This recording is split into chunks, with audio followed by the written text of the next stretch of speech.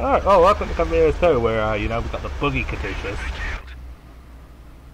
T-34 ready for combat. Katyusha on the move. Bum, bum, bum, bum, bum, bum, bum, bum, bum, bum, bum, bum, bum, bum, bum. What the fuck? I can... Oh, this is a clusterfuck.